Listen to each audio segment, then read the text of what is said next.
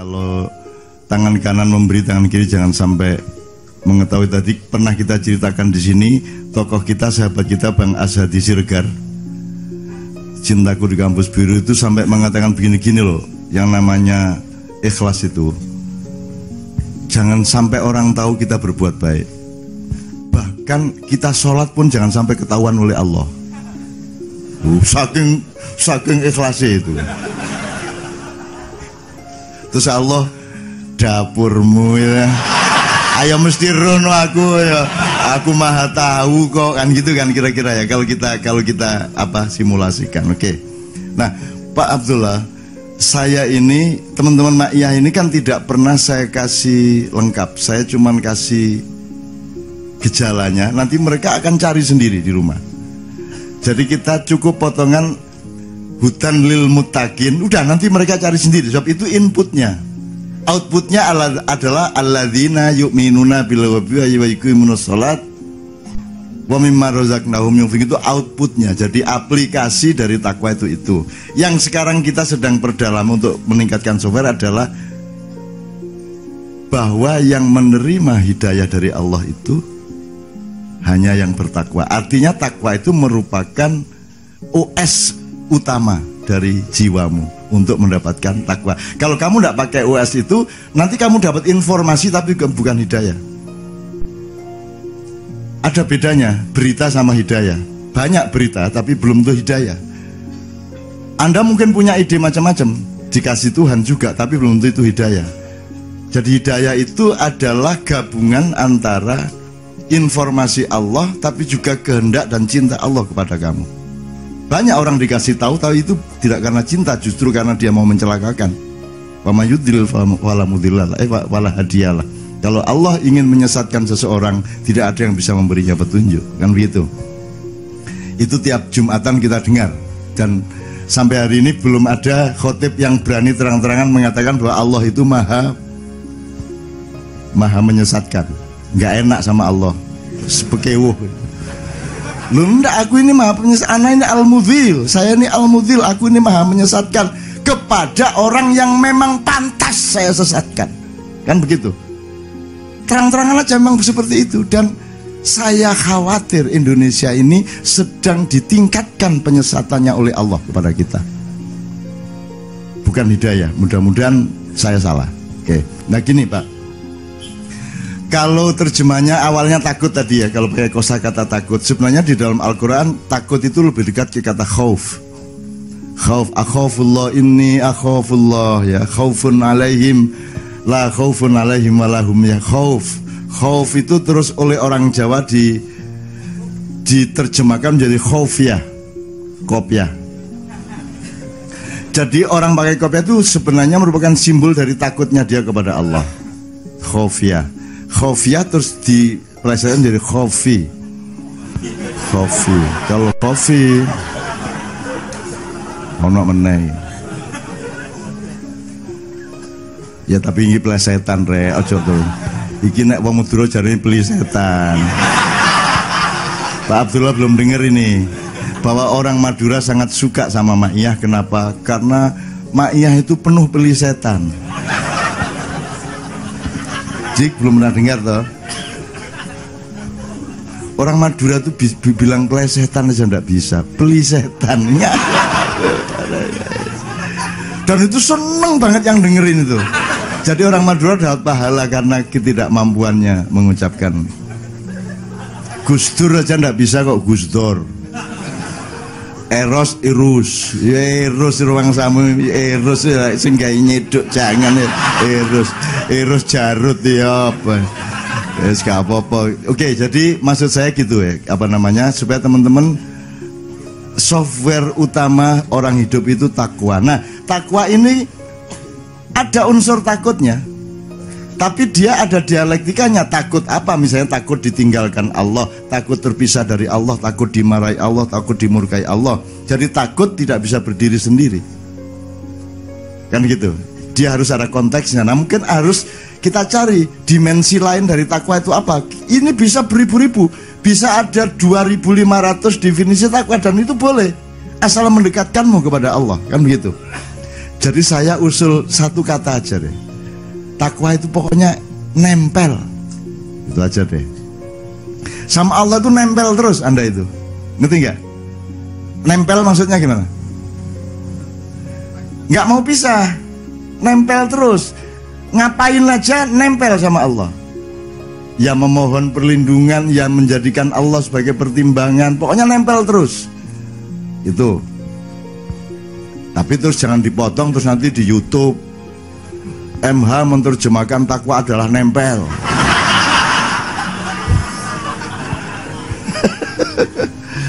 Lu kita ini mencari Allah itu menyuruh kita mencari torik Maka semua idiom utama dalam Islam itu jalan. Ada syariat dari kata syari itu jalan. Ada torikot dari kata torik itu juga jalan. Ada sirotol mustaqim dari kata sirot itu artinya juga jalan Dalam bahasa Indonesia ada jalan raya, ada jalan Ada lahir, ada ruas dan seterusnya. Ada bau jalan, ada paha jalan, ada leher jalan, sapi turuti. Tapi pokoknya kita itu mencari teman-teman sekalian, jangan pernah merasa menemukan. Kalau ada orang berbeda penemuannya nikmatilah.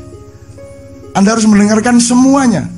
Semua Anda dengarkan yastami'unal qol. Tanda-tanda orang mendapat dari Allah adalah dia bersedia mendengarkan semuanya kemudian mengambil yang terbaik untuk dia laksanakan.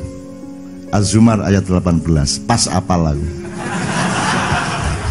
Pas itu kebetulan. Itu. Itu ya teman sekalian. Nah sekarang terakhir sekali setelah beliau sudah menjelaskan takwa nempel ya pokoknya. Jangan nggak nempel loh sama Allah, nempel terus ya, nempel terus. Gampang tuh sekarang? Tapi ojo terus khutbah kok ganti nempel katane. Ittaqul ittaqullah haqqa nempelullah wal nempel. Wala tamudunna illa wa antum muslimun. Jangan diganti nempel tetap takwa tapi pemahaman kita supaya ada shortcut kultural dan intelektual nempel. Kan lebih gampang, Mas. Kayak kata gaul itu ciptaan Gusmi kata gaul itu ciptaan Gusmi waliullah uh, Kiai Peloso apa Kediri. Itu yang ngomong Gusmi pertama gaul. Jadi kalau anda apal gitu-gitu asik loh kalau kata mau itu khasana itu Gusdur ceritanya karena acaranya Gusdur Cak Nur Megawati dibubarkan oleh Kodim dan Polres Jombang. Terus saya memang tidak mau bicara, saya ingin jaga ruang, ingin jaga keadaan dan kebetulan memang harus saya tidak ikut acara. Karena begitu tentaranya mulai nggerebek, saya ada di situ. Akhirnya saya halangi tentaranya, Cak Nur sedang pidato ini, saya halangi tentaranya, bansernya tak suruh diam, ansornya kan Allahu Akbar, Allahu Akbar. Sik sik meneng meneng meneng. Sik sik. Sik meneng sik. Kayak saya kasih saya tiga menit. Saya mau bicara sama komandan tentara sama polisinya. Terus Pak sampean pergi dulu Pak. Terus seret ke pinggir ke pojok. Pak sampean apa? Disuruh bubarin ya. Iya ya. Ada surat resmi. Ada aja. Oke, nanti saya antar ke panggung ke podium sampai baca surat resminya. Oke, sekarang tolong anggota suruh ke pohon sana supaya tidak nakut-nakutin orang. Akhirnya anggotanya semua ke pohon jauh sana. Dan sering meneng rek meneng ya, diam-diam dulu. Terus saya naik, saudara-saudara, Cak Nur mohon interupsi sebentar. Ini ada pemberitahuan dari Kodim dan Polres Jombang. Bapak-bapak, sampai baca terus dibaca berdasarkan ini ini ini dengan pertimbangan ini ini acara dilarang sehingga harus dibubarkan. Dah, terima kasih. Udah sampai turun sampai tunggu di pohon sana nanti saya ke sana. Udah, akhirnya keluar dia ke pohon agak jauh dari pesantren. Terus saya naik, saudara-saudara, acara seminar telah dibubarkan. Mari kita bikin acara yang baru. Itu. Tentaranya ndak denger wong dia di pohon sana. Ya. Terus saya teriak, "Gus, acara yang baru namanya apa, Gus?" Gus Dur teriak karo turu ini. Mau itu Hasanah cak. Oh, Oke. Okay. lahirlah kata mau itu khasana akhirnya saya bilang saudara marilah kita mulai acara kita pada siang hari ini mau itu khasana di pesantren tambak beras Jombang kita buka dengan Bismillahirrahmanirrahim dan pembicara pertama saya persilakan Bapak Nur Kholis Majid untuk maju ke depan. Cak Nur pidato lagi, selesai masalah. selesai masalah. Nah itu liriknya. Kalau gaul dari Gusmi, mau itu khasana dari Gusmi. Kalau maulid Nabi dari Bung Karno. Bung Karno ngobrol sama Yai bapaknya Gus Dur sama Yai Fabas Bulloh ngobrol gini gini gini. Udah kalau gitu Maulid Nabi bagus itu. Nah, terus akhirnya mulailah Maulid Nabi yang bikin pertama Bung Karno. Itu. Jadi kalau sekarang ada yang mengharamkan Maulid Nabi, tolong ke Blitar. Dudan kuburane. Terus Bung Karno tuding-tudingen sampean sing garai. Itu, oke, sekalian oke. Syukuran ya Ustaz ya, syukuran ya. Ah, nanti outputnya sudah beliau kemukakan tadi, tiga tadi. Percaya kepada yang gaib, ya. Alladzina yu'minuna bil ghaibi wa yuqimuna sholata wa mimma razaqnahum yunfikun. Ya. Sekarang ayat terakhir kalau sampai sudah khatam apa? Bismillahirrahmanirrahim. Qul a'udzu birabbin nas, malikin nas. Ayo.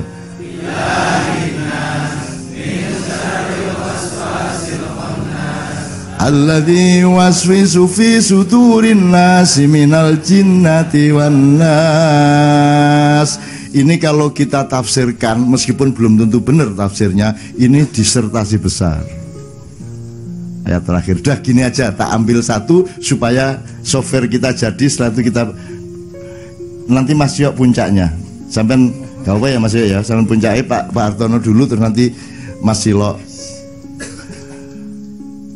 Itu kan kulang udubi Robun. Jadi Allah tampil pertama sebagai Robun. Katakanlah aku belum kepada Robunnya manusia Betul enggak? Birob binas. Kedua, Malikinas, raja di rajanya manusia. Ketiga, ilahinas. Oke. Kok urutannya gitu ya?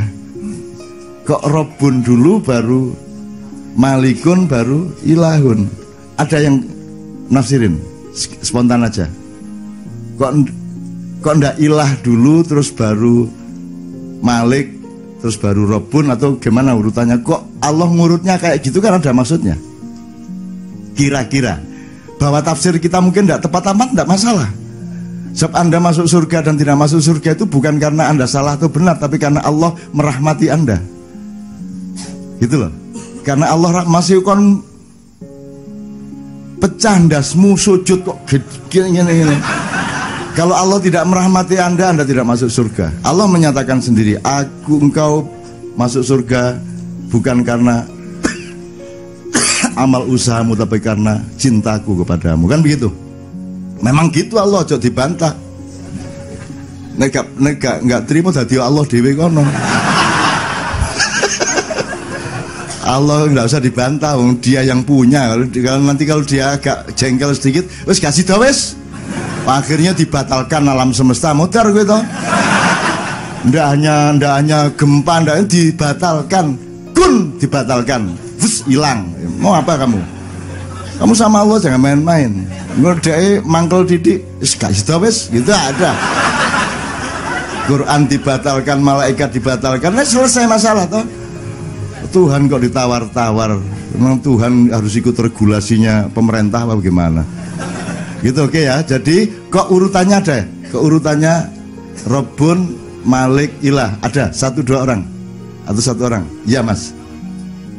Ya. Tolong tolong tolong tolong tolong tolong. Karena direkam.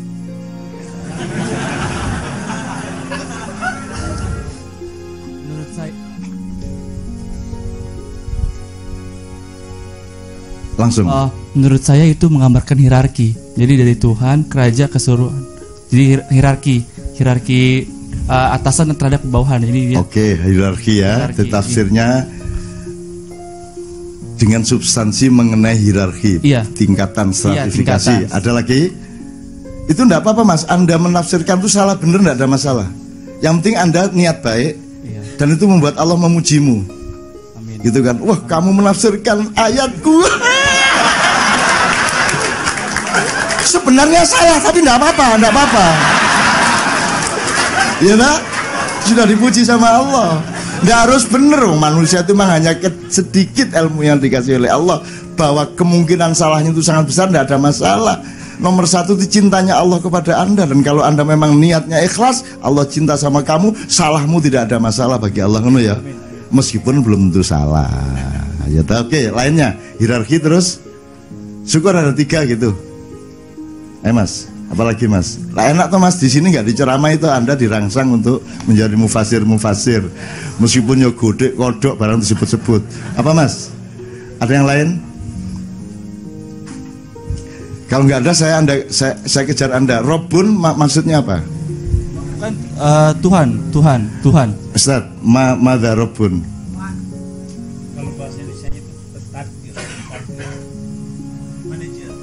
Manager. Manajer. Iya, manajer. Manager. Jadi Manager. mu, mudabir. Mudabir ya, mudabir. Ya mudabirul laila wan nahar. Jadi ya wahai Allah yang mengelola, yang memanage siang dan malam. Iya. Wahai Allah yang memanage hatinya manusia mudabirul qulub wal absor gitu ya. Oke. Jadi mudabir terus di bawahnya malik. Malik Raja. Bukan kok hierarkinya kok bukan raja yang mengurus. Kok pengurus yang raja? Kalau hierarki. Jadi rajanya raja gitu. Nah, ya keliru enggak apa-apa kok. Yang penting niat baik kok, ya. Iya. Gini, pengpahaman saya gini Ustaz. Ilah itu Allah eksistensial. Allah yang Allah eksistensi. Allah tunggal, yang maha tunggal. The only. Tuhan yang maha tunggal. Bukan hanya Esa. Kalau Esa ada dua, ada tiga. Ah, nanti nak oke enggak dibantah karo Mas yo. Jangan gak apa-apa. Nek Eka satu, nek Esa bener ya. Eh, sip, oke ora apa-apa. Nanti malaikat tanya, kon jari anu bantah-bantahan karo nggih. ngono." Kuwi kok mek carane menungso nggih wis padha pun menungso padha gak benere kan.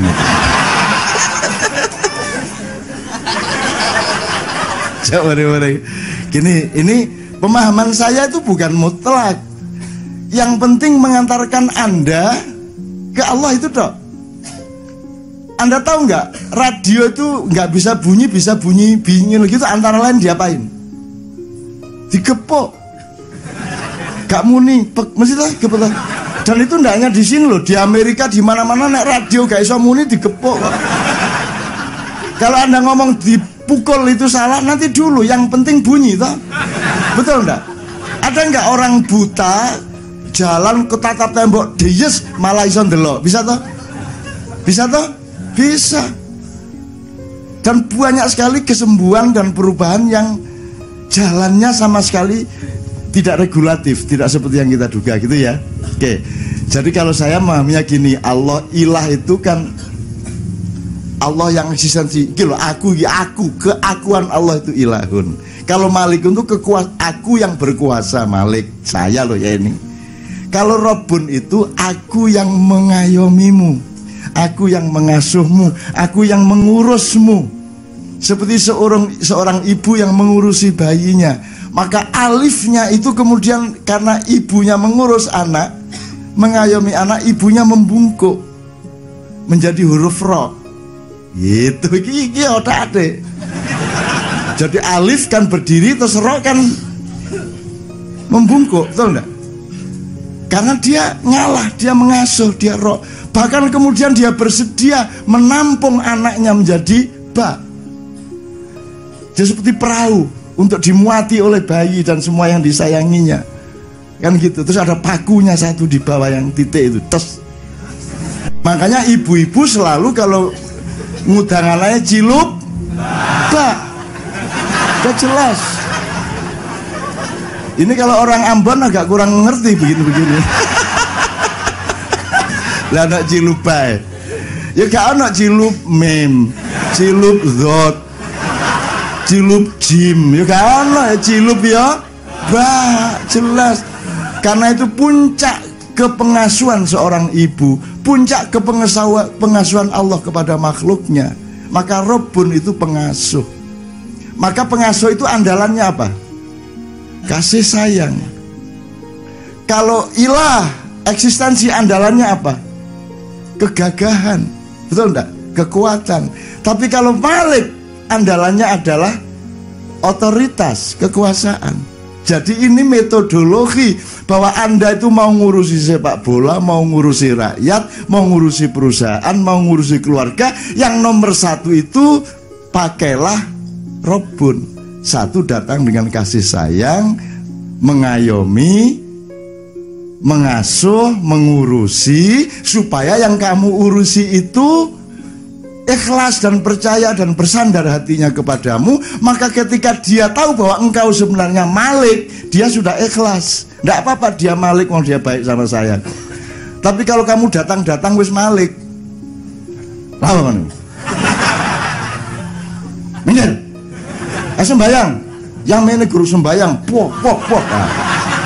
Nah itu namanya kul a'udzu bimalikin nas. Rabbin nas, ilahin nas kan begitu. Maka Allah memberi metodologi kul a'udzu bi Rabbin nas. Jadi apa saja datanglah dengan kasih sayang. Kenapa KC awet sampai 15 tahun padang bulan 22 tahun dan Anda duduk sampai jam 4 pagi karena datangnya ke sini nomor satu adalah kasih sayang. Mau aku tahu rening ini. Coba ya endi. Wis rapi ta burung kan? Enggak pernah.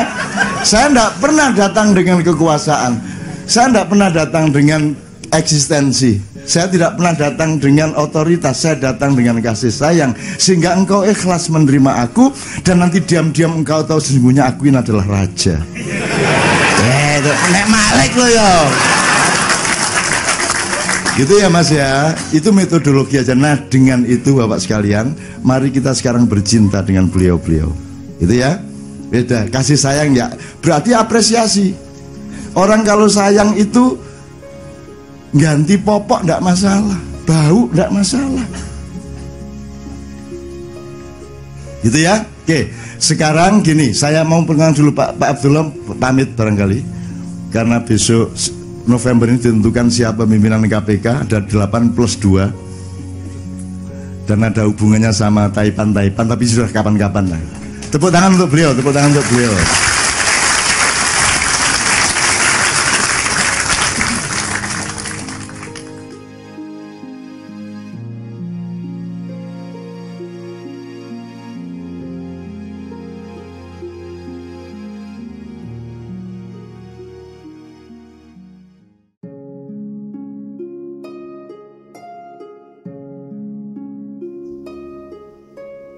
Assalamualaikum warahmatullahi wabarakatuh. Software utama untuk hidup setelah mati. Iman adalah keyakinan terhadap Maha Subjek Tunggal yang berkuasa, menentukan dan mengendalikan segala sesuatu dalam kehidupan manusia dan jagat raya.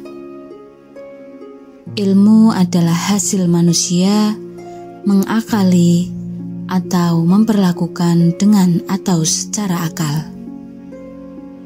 Tawakal adalah cara manusia menghadapi wilayah kehidupan yang akalnya tidak sanggup mengaksesnya. Takwa adalah kesadaran, kepekaan, kejelian, kelembutan dan kewaspadaan atas iman, ilmu, dan tawakal.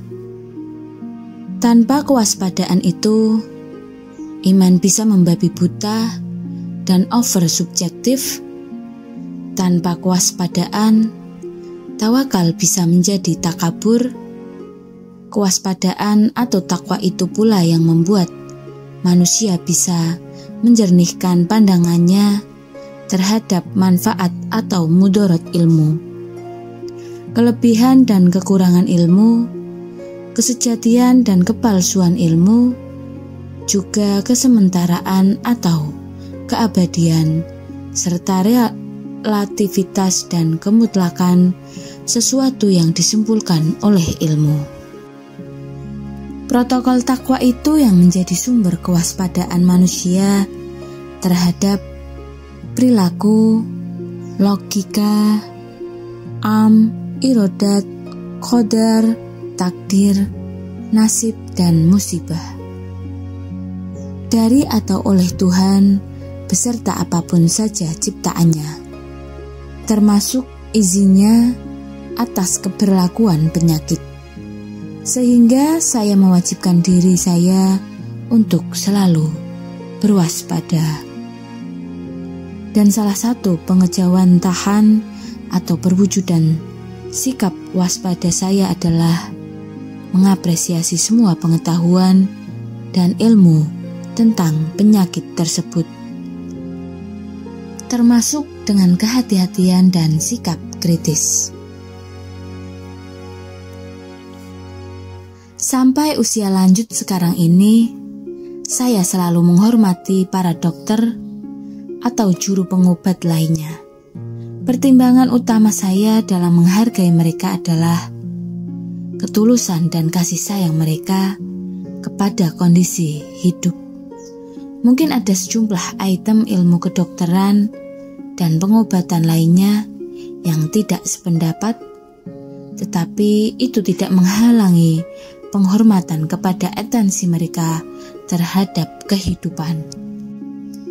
Sikap itu terus dipertahankan meskipun cakrawala atau ujung sampai terjatuh ke depan kehidupan adalah lagu tawakal atau mewakilkan atau memasrahkan kepada maha subjek tunggal yaitu segala hal yang pengetahuan dan ilmu manusia tidak sanggup menjangkaunya. Maka mari kita selalu pakai masker ketika bangun tidur, duduk, berdiri, dan berbaring siang dan malam di rumah atau di luar. Hidup ini sedemikian kompleks dan dinamis, sehingga selalu membutuhkan alat itu untuk badan kami, akhlak kami, intelektualitas, dan nalar kami, iman dan akidah keterlibatan dan integritas sosial, serta apa pun, supaya udara yang keluar masuk kehidupan kami adalah udara yang bersih dan sehat jasmani rohani. Yang berikutnya ketika memakainya, kami bersodakoh dan bertasma bertasamuh. Saya bersedekah dan bertoleransi menjamin rasa aman orang lain terhadap kehadiran kami. Karena kita sama-sama belum bisa ditolong oleh ilmu. Untuk sedekah pengamanan sosial juga selalu jaga jarak dan semaksimal mungkin hanya tinggal di rumah. Meskipun tidak perlu menyiapkan tank dan catut untuk gunting agar sewaktu-waktu bisa dipakai untuk memutus mata rantai penyebaran virus. Kami juga sudah sangat ingin dan berani maiyahan seperti biasanya, seperti ilmu dan teknologi sangat terbatas. Tetapi iman, takwa, tawakal tidak ada batas atau garis tepi dan ujungnya.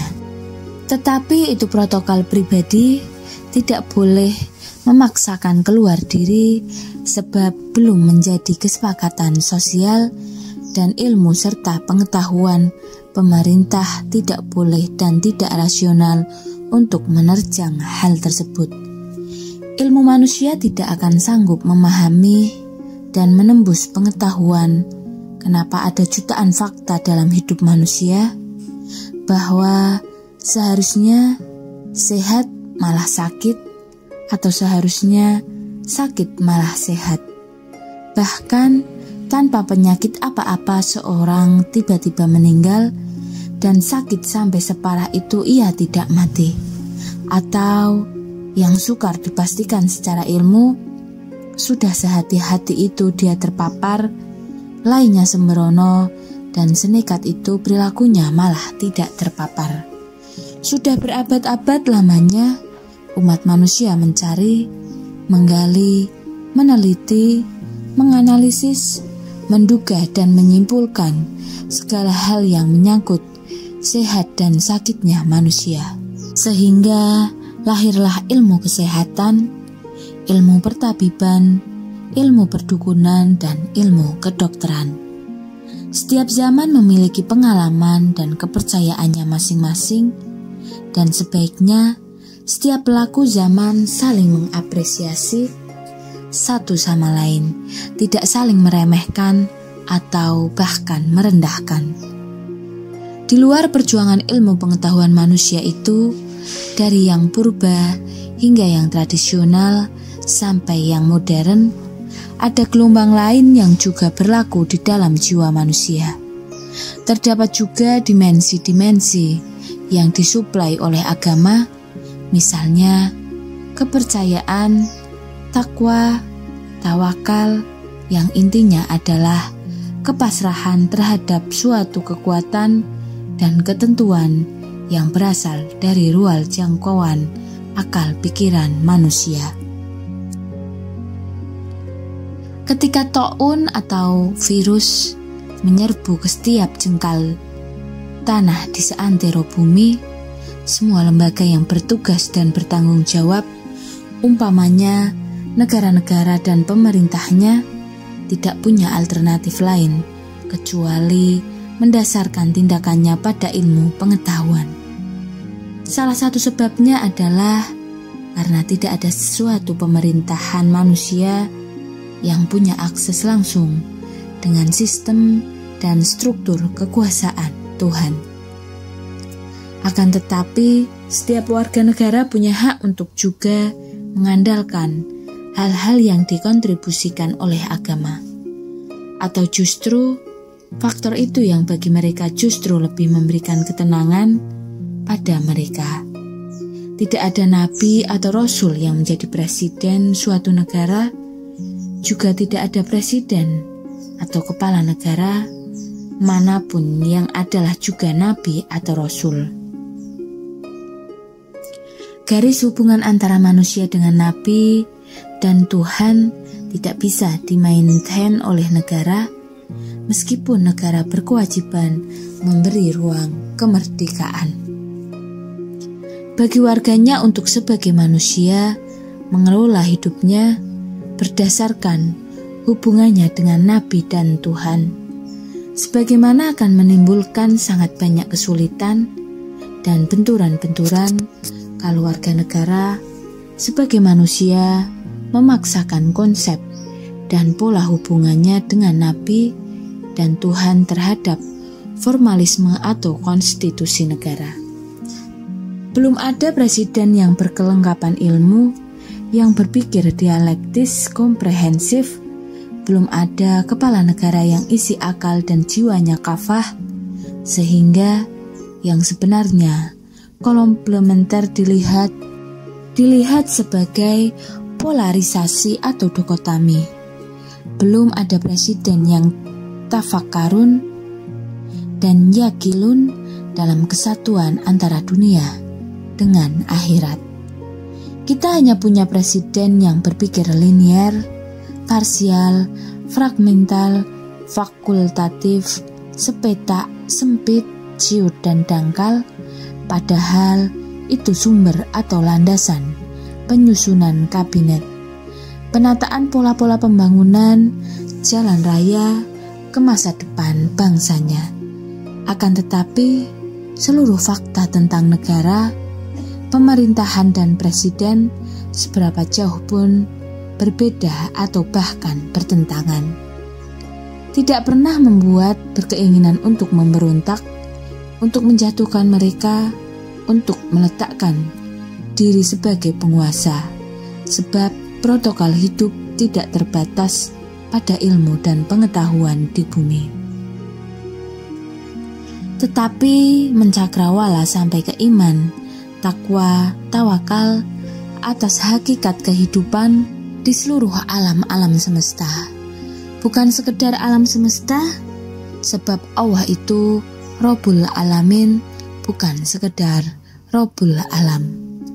Sebagaimana kita juga tidak berambisi untuk menjadi pemimpin agama, meski kita semua belum pernah mengalami kepemimpinan, keberagamaan yang menuntut disiplin publik, di mana manusia yang beragama tidak bisa meninggalkan ilmu, karena perilaku dan syariat agama sangat memerlukan identifikasi, perhitungan, pemilahan, pemisahan, serta interkoneksi antara yang terpilah-pilah dan terpisah-pisah. Agama manusia yang hidup di dunia bukanlah agama dengan sistem nilai surga. Kita masih dikasih pengajian yang memaksakan surga untuk dunia, menuntun kita untuk masuk surga tapi dibekali dengan sistem hidup keduniaan yang sekularistik bahkan dengan iming-iming kesejahteraan yang sangat bersifat duniawi, para aktivis ilmu maupun agama belum menemukan fungsi komplementernya, belum menikmati keseimbangan dan harmoninya. Agama ditransfer, diaplikasi dan diwujudkan sebagai suatu satuan yang bertentangan dengan apa yang berlangsung di dalam kehidupan manusia di dunia umat beragama belum diantarkan untuk menjalani agama yang di dalam praktiknya memerlukan sistem nilai dunia, pemahaman, dan penataan materi. Hitungan peribadatan dan pahala beda siang dengan malam, permusan dan penyepakatan tentang benar salah, baik buruk serta indah dan tidak indah. Bukannya mencinta-citakan surga, tapi dengan pemahaman sistem nilai dunia, tetapi sebaliknya, karena ilmu di dunia tidak bisa menembus dinding relativitas dan tembok kesementaraan, maka memerlukan tawaran agama, mutlaknya kebutuhan untuk tentram, memerlukan daya hidup yang tenaganya bersumber dari harapan, sementara harapan hanya dikandung oleh jangkauan ke masa depan yang rentangnya adalah keabadian. Agamalah yang menawarkan itu, meskipun penerimaannya tidak dengan ilmu, melainkan keyakinan dan harapan. Bagaimana warga negara sebagai makhluk yang berwujud insan atau manusia, sebagai abduwah, apalagi sebagai halifatullah, menentukan batas-batas keputusan hidupnya atau perilaku sehari-harinya antara ekosistem negara yang mengandalkan ilmu manusia dengan fakta dialektika hubungan antara Tuhan dengan makhluknya? Jawabannya adalah mari kita mempedomani protokol takwa dan berdasar mengapresiasi ilmu manusia termasuk yang diterapkan oleh pemerintah suatu negara. Tetapi kepatuhan kepada protokol negara adalah bagian dari mantikiyah atau konsistensi rasional dari protokol takwa tersebut. Sekian, wassalamualaikum warahmatullahi wabarakatuh.